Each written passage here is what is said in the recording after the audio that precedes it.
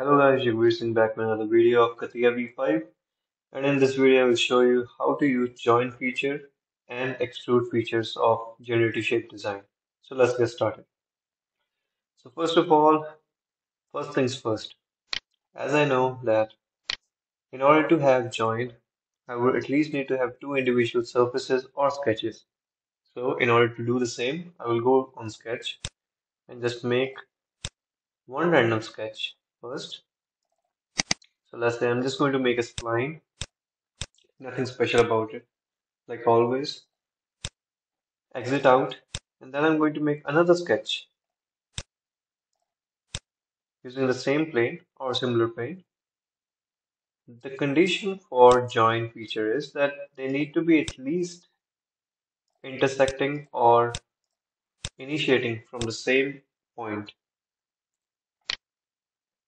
What I mean by that is, so in this case, I know that this sketch and this sketch have this point or the origin in common, because of which join is possible. If this sketch is somewhere here in the air and this sketch is somewhere here in the inside the space, then the join feature won't exist because there is no common element or there is no joint point where they can be considered as one single individual element. So two different independent elements can be combined together using join feature. So now join can take place at sketch level and also at surface level.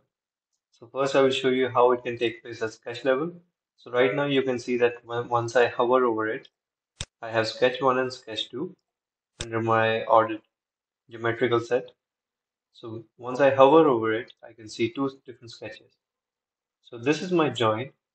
And once I click on it, it's asking me elements to join. So if I click this particular sketch, sketch 1, and then I click sketch 2, and then I click preview, it's showing me a green line considering to be very similar to something like it has been extracted. So both the lines have been extracted and then coincided with each other and considered as one. So when I click OK, when I zoom in, initially there was a black dot here indicating me that this line was different from this line, whereas now it's a common joint. It shows as a white dot, it means that this line is basically the continuation of this line. Both of them are at continuity with each other. So you can see here under join as well, both merging distance is considered. So this is one set of it. Now, if if I say that I'm going to deactivate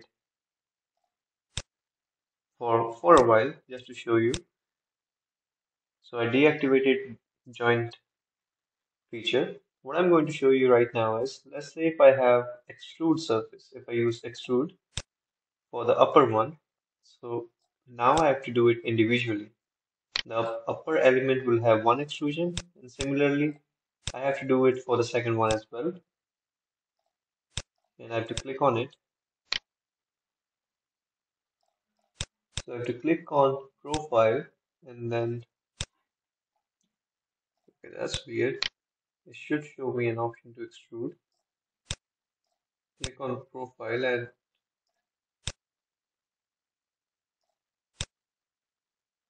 interesting. So let's say if I delete this extrusion and if I click on extrude here, but it's for some reason it's not letting me select this extrusion. Mm -hmm. That's weird. Let me save it for a while or let me delete this join feature for now. So let's say if I delete it and I'm just going to show you yeah. Now it's able to because maybe because of sketch 2 was built later on and the joint feature took place maybe because of that I was not able to. So I simply de deleted the joint. I will just make it later on once again. So what I was trying to say is when I'm trying to do the extrusion of the sketch individually because they're not joined I, I need to do it individually. I have no other option So that's why I did the lower one first and then, then the upper side of it. But let's say if I have joined both of them, which is join and join both of these two, what will happen is it will be considered as one. And now if I extrude it, it will show me the extrusion as one completely. So it's very helpful that if you are working at sketch level as well, and if you decide to use join, you can extract the surface that is joined already and will be considered as one. So let's say if you don't want to join at sketch level and you may or may not need to join them later on, what will you do? So this was joint at sketch level. The other one is joint at surface level. What does that mean is even if we do the same thing that if you extrude each of them individually, so I extruded it individually, now they are not joined. So like if I hover over the first one, it will select the upper side, not the lower side, and sim similarly, it will select the second side, not the upper side. So if I click on join, and if I decide to join both of them, and because there is a common element here, or common point, or a common reference, it will, and if I click on preview, it will show me that, okay, it is possible to do so. And hence, the join will be considered as this entire surface. So now, it will be easier for me to simply go ahead and make changes to both of them if I would need to do it collaboratively. If I need to do it individually, then yes, it's better to just have it at once. If I need to make changes at multiple surfaces, that I those have a common intersection, then it's always better to have join feature applicable and then go ahead with all the split and the trims. So that's pretty much it. Thank you so much for watching. And if you like these kind of videos, then do not forget to subscribe my channel. Thank you.